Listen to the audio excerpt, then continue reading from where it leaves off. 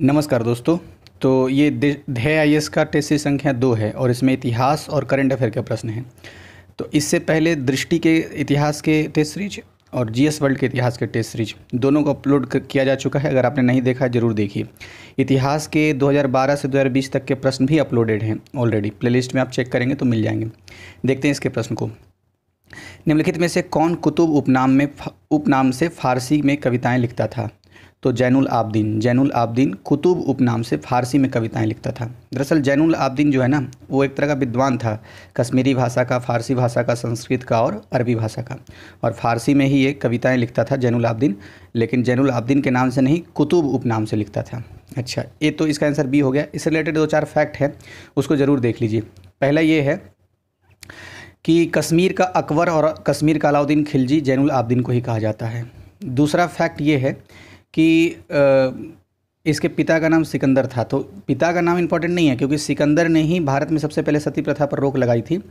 तो इसलिए इंपॉर्टेंट है जो इनके पिताजी थे। हालाँकि बाद में हिंदुओं की भावना को देखते हुए जैनुल आबदीन ने इस फैसले को बलट, बदल दिया और सती प्रथा की इजाज़त दे दी थी। तो ये तो हो गया महत्वपूर्ण बातें। सबसे पहले जजिया कर की समाप्ति भी जैनुल आबदीन ने ही की थी। यही तो कारण है जिस जिसके कारण इनको कश्मीर का अकबर कहते हैं। दूसरा नंबर क्वेश्चन है, निम्नलिखित में से किस कश्मीरी शासक ने सती प्रथा पर रोक लगाई? तो सती प्रथा पर रोक सिकंदर ने लगाई थी, अभी हमने देखा। और सिकंदर के बेटे का नाम क्या था? जैनुल आबदीन। जैनुल आबदीन ने ही सबसे पहले जजिया कर पर की समाप्ति की थी। लेकिन इस सती प्रथा को इन्होंने हिंदुओं की भावना को देखते हुए फिर से इजाज़त दे दी थी। तीसरा ये कि ये अरबी, फार, सॉरी, फारसी भाषा में कुतुब उपनाम से कविताएँ लिखता था और इन्हें कश्मीर का अलाउद्दीन खिलजी और अकबर भी कहते हैं। तीसरा नंबर क्वेश्चन। बलवन के संदर्भ में निम्नलिखित में से कौन से कथन सही हैं? तो पहला कथन है, उसने सिजदा और पैबोस की शुरुआत की, जिसके अंतर्गत लोग उसके सामने बैठकर सिर झुकाते थे। तो बिल्कुल सही है ये कथन। दूसरा कथन है, उसने भारत में नवरोज़ त्यौहार की शुरुआत की थी। तो नवरोज़ एक फारस का त्यौहार था मतलब ईरान का। उसकी शुरुआत इन्होंने की थी। तो ये भी कथन सही है। तीसरा, दीवान बिजारत वित्त विभाग से संबंधित था। तो गूगल में चेक करने पर यह पता चलता है कि हाँ दीवान बिजारत जो था, वो वित्त विभाग से संबंधित था। इस तो ये तीनों कथन तो सही है, विकल्प डी इसका आंसर हो जाएगा, उपरोक्त सभी। लेकिन एक और है कि दीवान आरिज या दीवान अर्ज़, यानी कि सैन्य विभाग, की स्थापना भी बलवन नहीं की थी तो ये बात ध्यान रखने योग्य है। अब नेक्स्ट है अलाउद्दीन खिलजी के संदर्भ में निम्नलिखित में से कौन से कथन सही नहीं हैं? तो पहला कथन देखते हैं। उसने सीरी को अपनी रा, राजधानी बनाया। तो ये कथन सही है जैसा कि इसके व्याख्या में दिया हुआ है। दूसरा उसने राजस्व बकाये के लिए दीवान मुस्तखराज विभाग की स्थापना की। तो ये भी कथन सही है। दीवान मुस्खराज विभाग की स्थापना की थी राजस्व बकाये के लिए।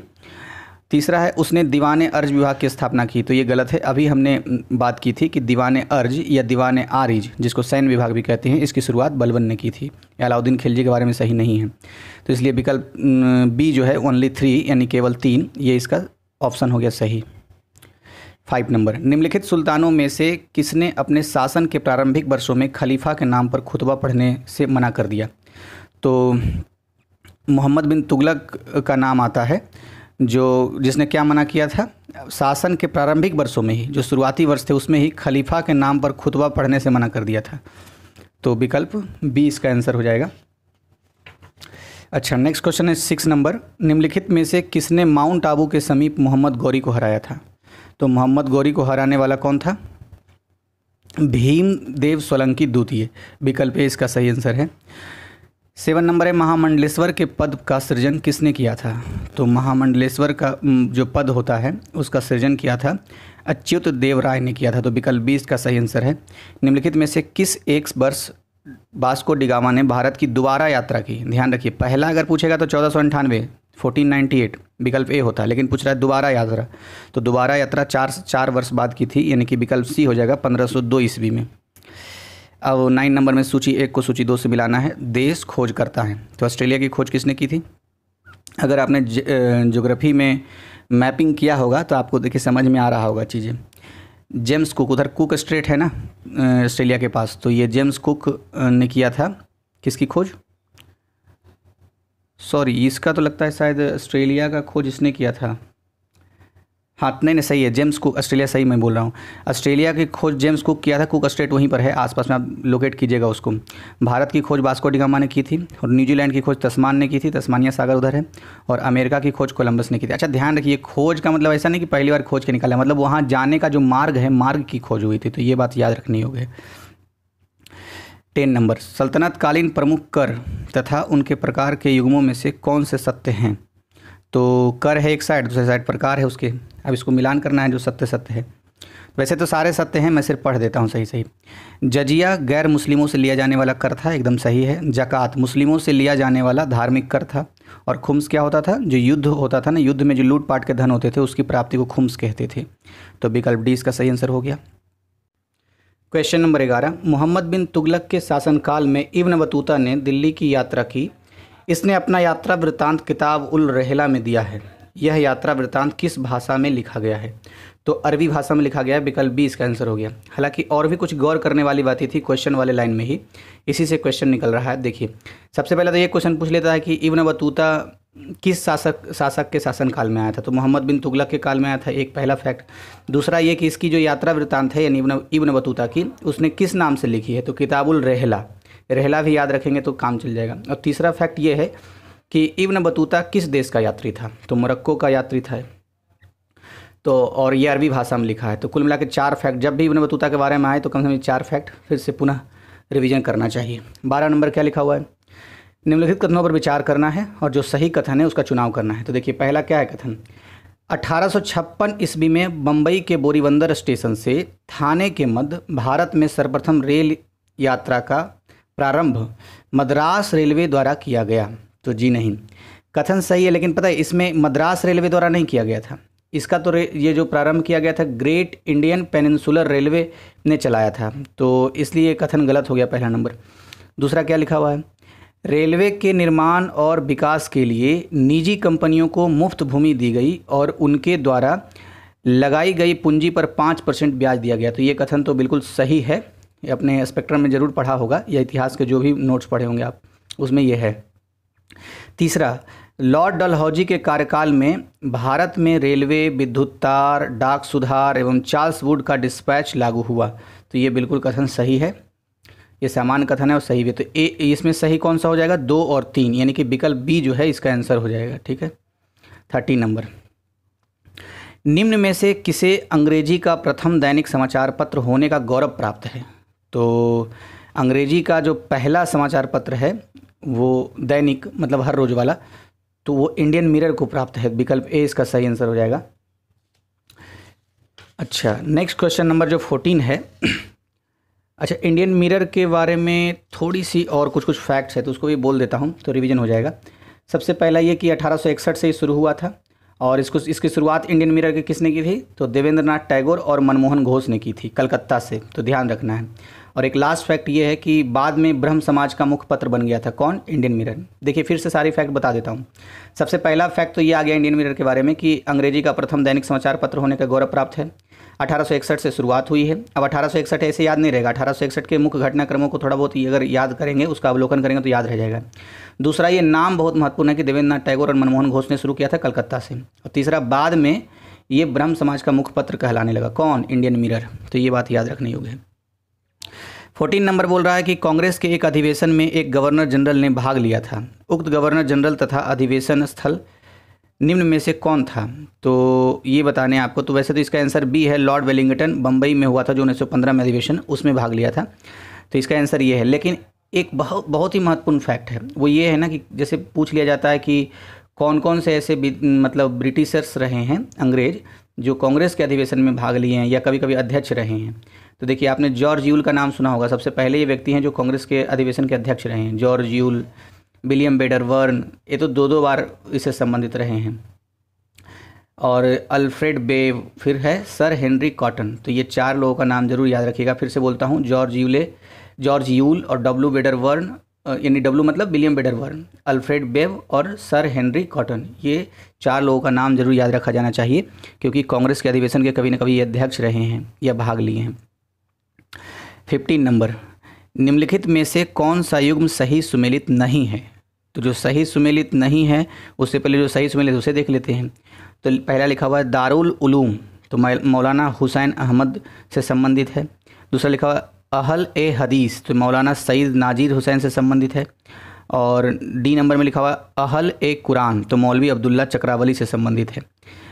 जबकि ये जो मोहम्मदन एजुकेशनल सोसाइटी है, ये मौलाना सिवली नुमानी नहीं, बल्कि सर सैयद अहमद खान से संबंधित होना चाहिए था, इसलिए सी नंबर ये गलत है तो यही इसका विकल्प हो जाएगा।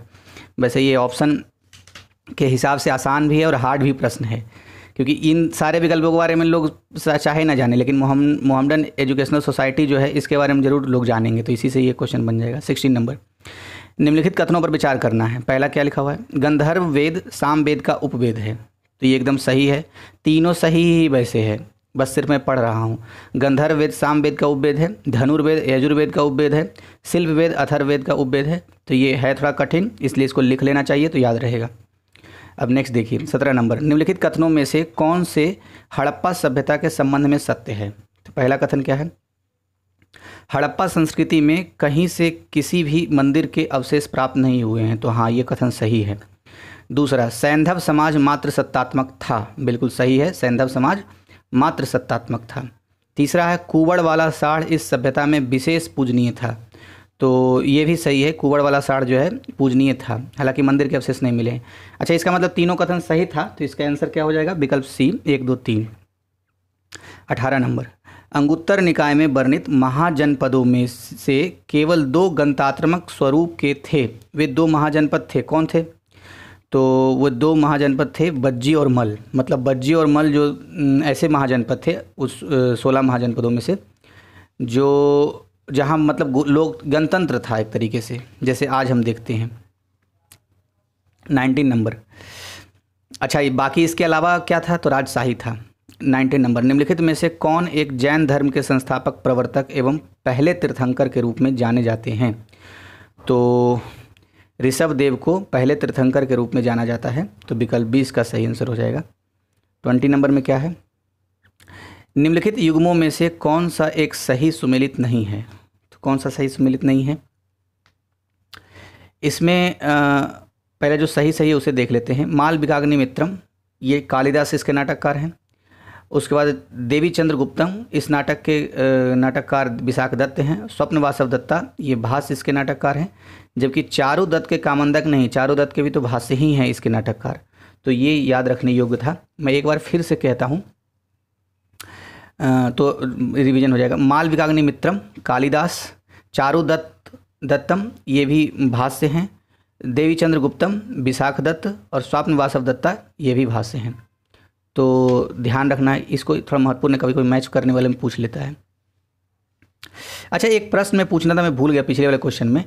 ये कि जो ऋषभ देव थे, ऋषभ देव की मृत्यु कहाँ हुई थी? तो ये क्वेश्चन कहीं मैंने देखा था। आप इसका आंसर कमेंट बॉक्स में दे दीजिए, अगर जानते हैं तो। ऋषभ देव की मृत्यु कहाँ हुई थी? क्वेश्चन नंबर इक्कीस। सम्राट अशोक ने निम्नलिखित अभिलेखों में से किस एक में स्वयं को मगध का सम्राट बताया है? तो भब्रू स्तंभ में मगध का सम्राट बताया है खुद को, अशोक ने। भब्रू स्तंभ को ही बैराट स्तंभ लेख भी कहते हैं तो ये भी बात याद रखने योग्य है। उसके बाद एक है अशोक तो अशोक से एक चीज़ याद आता है कि जब हम प्रीवियस ईयर सॉल्व कर रहे थे तो उसमें आया था कि अशोक ने अपने मूल नाम को कौन कौन से अभिलेख में बताया है। तो ऐसे चार अभिलेख हैं, और इसके लिए एक ट्रिक दिया था हमने गन मास्क जी से गुर्जरा, और यू से उडेगोलम एन से नेतूर और मास से मास की। तो ये चार ऐसे अभिलेख हैं जिसमें अशोक ने अपने मूल नाम को बताया है। ये शॉर्ट रिविजन हो गया, ट्वेंटी टू। निम्नलिखित में से किस मध्यकालीन कवि को पूर्व के होमर की उपाधि प्रदान की गई है? तो पूर्व के होमर की उपाधि प्रदान की गई है फिरदौसी को। फिरदौसी एक कवि हैं मध्यकाल के और इनको पूर्व का होमर कहा गया है। Twenty three. यूरोपीय बैंकिंग पद्धति पर आधारित भारत का प्रथम बैंक। निम्नलिखित में से कौन था? तो बैंक ऑफ़ हिंदुस्तान, विकल्प डी, इसका सही आंसर है।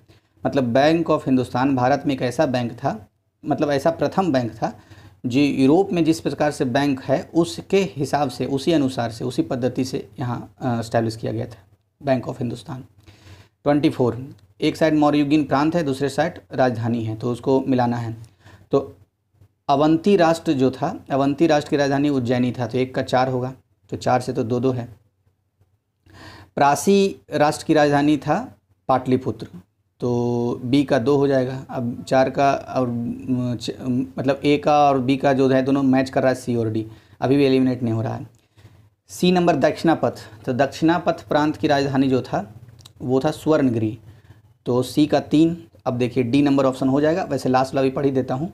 कलिंग प्रांत की राजधानी तोसली था। एक बार फिर से दोहरा देता हूँ। अवंती राष्ट्र की राजधानी, उज्जैनी, प्रासी राष्ट्र की राजधानी, पाटलिपुत्र। दक्षिणापथ प्रांत की राजधानी सुवर्णगिरी और कलिंग प्रांत की राजधानी तोसली था। Twenty five. निम्नलिखित कथनों पर विचार करना है। पहला कथन, स्वराज पार्टी की स्थापना सन 1923 में मोतीलाल नेहरू और सी आर दास द्वारा की गई थी। तो ये बिल्कुल कथन सही है। और दूसरा क्या लिखा, चितरंजन दास देश बंधु के नाम से प्रसिद्ध थे। तो यह भी कथन सही है, इसलिए विकल्प सी इसका आंसर हो जाएगा, एक और दो दो, दोनों। ट्वेंटी सिक्स, एक साइड गवर्नर जनरल लिखा हुआ है और दूसरे साइड उसकी संबंधित घटना। हमें सही सुमेलित करना है। मतलब सही सुमेलित कौन है उसका पहचान करना है। तो सही वाला पढ़ लेते हैं। लॉर्ड रीडिंग जो है, लॉर्ड रीडिंग के समय ही भारतीय कम्युनिस्ट पार्टी की स्थापना हुई थी। अच्छा इससे रिलेटेड मैंने कुछ फैक्ट भी लिख के रखे हैं तो उसको भी मैं आपको बता देता हूँ। जैसे लॉर्ड रीडिंग का कार्यकाल पहले ये देखना है कि 1921 से 26 में है। 1921 से 26 में कौन कौन सी महत्वपूर्ण घटनाएँ हुई है, वो देख लेना है। लेकिन उससे पहले एक बात ये याद रखने योग्य है कि भारतीय कम्युनिस्ट पार्टी की स्थापना लॉर्ड रीडिंग के काल में तो हुई है लेकिन किसके द्वारा हुई है? कभी कभी ये भी पूछता है तो एम एन राय के द्वारा ताशकंद में हुई थी। तो याद रखना है, ताशकंद उज्बेकिस्तान का एक शहर है, ताशकंद। अच्छा फैक्ट नंबर एक, चौरी चौरा कांड जो हुआ है, वो लॉर्ड रीडिंग के काल में ही हुआ है। स्वराज पार्टी की स्थापना तो देख ही लिया हमने, फिर मोपाला विद्रोह भी उन्नीस सौ इक्कीस का जो हुआ था, वो भी लॉर्ड रीडिंग के काल में हुआ है। इसके बाद जो 1922 में सबसे पहली बार जो इलाहाबाद में सिविल सेवा की परीक्षा शुरू हुई थी तो लॉर्ड रेडिंग के काल में ही हुआ है।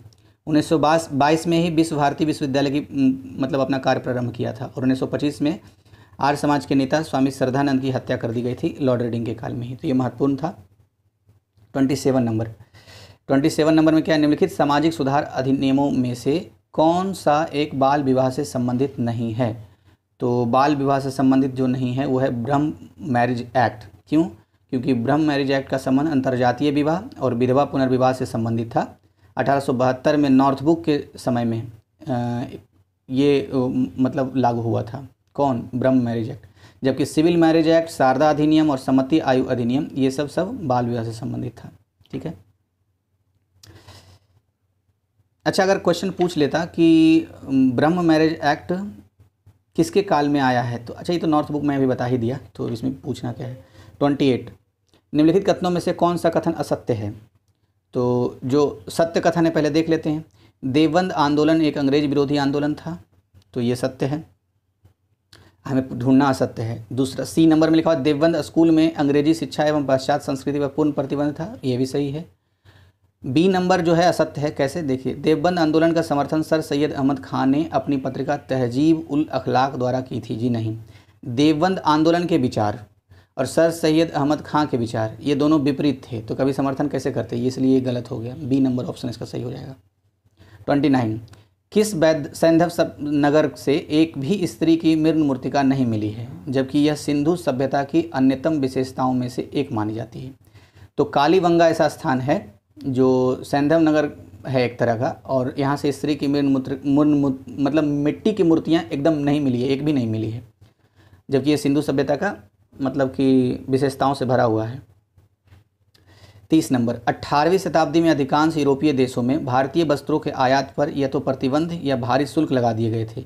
निम्नलिखित में से कौन सा देश इसमें अपवाद था? तो इसमें अपवाद था नीदरलैंड। नीदरलैंड अपवाद था, बाकी सब जगह ये लागू था, भारी शुल्क। तो इसका ऑप्शन नंबर ए सही हो जाएगा। नीदरलैंड की राजधानी कहाँ है? एम्स्टर्डम, याद रखना है। थर्टी फ़र्स्ट, निम्नलिखित कथनों में से कौन सा विजयनगर साम्राज्य के संदर्भ में असत्य है? देख लेते हैं। वैसे सारा सत्य है इसमें तो मैं सिर्फ़ पढ़ देता हूँ। विजयनगर काल में बेसबग प्रथा प्रचलित थी। तो सही है, बेसबग प्रथा प्रचलित थी। अच्छा लेकिन बेसबग प्रथा संबंधित किस चीज़ से था? है जानकारी? होगा ही जानकारी, मैं पुनः स्मरण करा देता हूँ। बेसबक प्रथा जो था ना, मनुष्यों के क्रय विक्रय से संबंधित था। मतलब आदमियों का क्रय विक्रय किया जाता था, उसको बेसबक प्रथा कहते थे। और विजयनगर में ये मतलब प्रचलित था। दूसरा ये कि पर्दा प्रथा का प्रचलन नहीं था। तो हाँ ये बात सही है। पर्दा प्रथा का प्रचलन नहीं था। हालाँकि अगर यहीं पर अगर ये विकल्प रहता कि दास प्रथा तो दास प्रथा का प्रचलन था, लेकिन विजयनगर साम्राज्य में पर्दा प्रथा का प्रचलन नहीं था। सी नंबर ऑप्शन है कि इस काल में विशाल संख्या में स्त्रियों को विभिन्न राजकीय पदों पर नियुक्त किया गया था। तो यह भी सही है। तो उपरोक्त सभी डी नंबर ऑप्शन हो गया इसका। थर्टी टू निम्नलिखित कथनों पर विचार करें। भारत में सती प्रथा का प्रथम उल्लेख 510 ईस्वी के एरन अभिलेख में मिलता है। तो ये कथन सही है, एरन अभिलेख में मिलता है। अच्छा सती प्रथा से याद आया। वैसे इसमें फैक्ट जो था ये कि एरन अभिलेख में 510 में सबसे पहली बार सती प्रथा का उल्लेख मिलता है। अभी हमने पढ़ा था कि सती प्रथा को सबसे पहले समाप्त किया था सिकंदर ने। सिकंदर कौन था? आबदीन जो था, जैनुल आबदीन के पिताजी थे। अच्छा अब दूसरा कथन क्या है? सर्वप्रथम पंद्रहवीं शताब्दी में कश्मीर के शासक सिकंदर ने सती प्रथा को बंद करवाया था। अरे, यही कथन तो दोहरा दिया फिर से। तो ये बात सही है, बिल्कुल। तीसरा है पुर्तगाली वायसराय अलबुकर्क ने 1510 ईस्वी में गोवा में इस प्रथा को बंद करवाया। तो देख लीजिए, तीनों कथन सती प्रथा से संबंधित है अलग अलग समय काल का, और ये तीनों सही है। तो याद रखना, ये निबंध वन में भी काम आ सकता है। फिर से बोल देता हूँ। भारत में सती प्रथा सबसे पहले का उल्लेख मिलता है एरन अभिलेख में 1510 सॉरी 510 ईस्वी का है। दूसरा कि पंद्रहवीं शताब्दी में कश्मीर के शासक सिकंदर ने सबसे पहले इसको बंद करवाया था, किसको? सती प्रथा को। और पुर्तगाली वायसराय अलबुकर्क ने 1510 ईस्वी में गोवा में इस प्रथा को बंद करवाया था। तो ये भी बात याद रखना है फिर राजा राम मोहन राय का भी नाम जुड़ता है सती प्रथा से। अब देखिए आगे। थर्टी थ्री, निम्नलिखित में से कौन सा कथन ईश्वर चंद्र विद्यासागर के विषय में असत्य है? तो देखते हैं। लिखा हुआ उन्होंने बंगला वर्णमाला लिखी। तो हाँ सही बात है वर्णा ये बंगला वर्णमाला ईश्वर चंद्र विद्यासागर ने लिखी थी। दूसरा, वे संस्कृत के अध्ययन पर ब्राह्मण जाति के अधिकार के विरोधी थे। बिल्कुल सही है।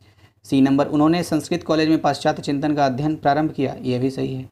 डी नंबर, ब्रह्मंस मंडली के संस्थापक सदस्यों में से एक थे। नहीं, ये गलत है। तो ए बी सी सही हो गया। डी गलत, डी को पहचाना था। डी नंबर ऑप्शन हो गया इसका सही। थर्टी फोर गुबार एक खातिर के लेखक कौन है? तो अबुल कलाम आज़ाद गुबार एक खातिर के लेखक हैं। अच्छा अबुल कलाम आज़ाद की कोई एक रचना और आप कमेंट बॉक्स में इसका नाम बताइए, जो अक्सर एग्ज़ाम में पूछे जाते हैं, या ऐसे भी जो भी आपको याद आ रहा हो, बताइए। थर्टी फाइव निम्नलिखित में से किस आयोग द्वारा भारत में प्रथम बार महिला शिक्षा को प्रोत्साहन दिया गया? तो हरटोग समिति। हट नहीं नहीं नहीं नहीं, सबसे पहले तो वुड डिस्पैच में दिया गया था। लॉर्ड डॉलोहजी काल में आया था, अठारह का वुड डिस्पैच। इसमें दिया गया था, यहाँ पर गलत टिक लगा हुआ है, हिंदी साइड वाले में। तो वुड डिस्पैच में सबसे पहले महिला शिक्षा को प्रोत्साहन दिया गया था, याद रखना है। और किसके काल में आया था वुड डिस्पैच? ये आया था डलहौजी के काल में, अठारह सौ चौवन में, छत्तीस। निम्नलिखित में से किस घटना का संबंध भगत सिंह से नहीं है? तो भगत सिंह से किस, नहीं किसका है? तो ये करजन वायली की हत्या। करजन वायली की हत्या का घट, जो घटना है, वो भगत सिंह से संबंधित नहीं है, जबकि केंद्रीय विधानसभा में बम बम फेंकना और पंजाब नौजवान सभा से और फिर हिंदुस्तान सोशलिस्ट रिपब्लिकन एसोसिएशन के सदस्य थे तो ये तीनों से संबंधित है। अच्छा एक चीज़। करजन वायली की हत्या फिर किसने की थी? एक जुलाई 1909 में मदन लाल धिंगरा ने लंदन में करजन वायली की हत्या कर दी थी। ये फैक्ट याद रखना है। एक प्रश्न और पूछना है आपसे। कभी कभी ये भी मैंने देखा है, पूछा गया कि केंद्रीय विधानसभा में बम फेंका गया था कब? तो याद रखना है, आठ अप्रैल उन्नीस सौ उनतीस को, उन्नीस सौ में किया गया था मतलब ये केंद्रीय विधानसभा में बम फेंकने का काम। अच्छा पिछले वाले क्वेश्चन में कुछ मैं भूल गया। चलिए, जो भूल गया मैं आपको क्वेश्चन के रूप में बता देता हूँ। जो वुड डिस्पैच है ना वुड डिस्पैच के संबंध में आप पाँच पॉइंट को अपने नोट्स में लिख मतलब रिवीजन के लिए लिखिए, सामने में जो आपके पेज रखा हुआ है, या कहीं पर भी। इसका पीडीएफ है पीडीएफ में ही लिखिएगा, पाँच पॉइंट वुड डिस्पैच के मतलब कई बार बता चुका हूँ थर्टी सेवन नंबर निम्नलिखित में से किस एक ब्रिटिश अफसर ने बंगाल में जमींदारी के स्वामित्व संबंधी अधिकारों का विरोध किया? तो किसने विरोध किया था? विरोध किया था जेम्स ग्रांट ने। तो विकल्प बी इसका सही आंसर हो जाएगा। थर्टी एट कथन और कारण है। मार्ले मिंटो सुधार द्वारा मुस्लिमों के लिए पृथक निर्वाचन की व्यवस्था की गई, एकदम बिल्कुल सही है। कारण इसके पीछे क्या है? कारण है कि इस सुधार का प्रयोजन एक वर्ग को दूसरे वर्ग के खिलाफ लड़ाना था तो हाँ ये भी सही है। तो कथन कारण स्वतंत्र रूप में सही होने के साथ एक दूसरे की व्याख्या करते हैं, इसलिए ए नंबर ऑप्शन हो जाएगा। थर्टी नाइन पश्चिमी तट पर स्थित तोंडी एक समृद्ध पत्तन था। देखिए प्रीवियस ईयर में सेम क्वेश्चन को उठा के में डाल दिया गया है। तो हाँ था, और किसके काल में था? चेरों के काल में था। समृद्ध पत्तन, याद रखना है। अरे, आपने वो नाम तो सुना है ना? कई बार आता है पेरीप्लस। पेरीप्लस, ऐसा नाम सुना है? पेरीप्लस ऑफ़ द, ऐसा करके कुछ, Periplus of the Erythraean Sea. तो उसी से जानकारी मिलती है कि चेरों के काल में तोंडी नाम का एक समृद्ध पत्तन था, जिससे भारत और व्यापार, भारत और रोम के बीच में व्यापार बहुत समृद्ध था, और इसी पत्तन से किया जाता था। फोर्टी नंबर, मुगल सम्राट और मकबरा दिया हुआ है। तो जो सही सुमेलित नहीं, उसकी पहचान करनी है। तो जो सही सही है, पहले उसे देख लेते हैं। बाबर का मकबरा काबुल में है, सही है। जहांगीर का मकबरा लाहौर में है, यह भी सही है। अकबर का मकबरा सिकंदरा में है, यह भी सही है। जबकि कोई भी आसानी से थोड़ा सा भी इतिहास जिसने पढ़ा है, वो बता सकता है कि बहादुर शाह जफ़र का मकबरा दिल्ली में नहीं है। कहाँ है? रंगून में है। रंगून म्यांमार में। इनको अठारह सौ सत्तावन क्रांति के बाद अंग्रेज़ों ने वहाँ खदेड़ दिया मतलब भेज दिया था एक तरीके से, और वहीं इनकी है। तभी तो ये अफसोस करके कहते हैं कि दो गज ज़मीन भी नहीं मिला मेरे कब्र के लिए। फोर्टी वन निम्नलिखित में से कौन सी एक गुप्त काल में वर्णित स्वर्ण मुद्रा थी? तो स्वर्ण मुद्रा के बारे में अगर पूछे तो दिनार था। और अगर चांदी की मुद्रा के बारे में पूछता तो हम क्या बोलते हैं?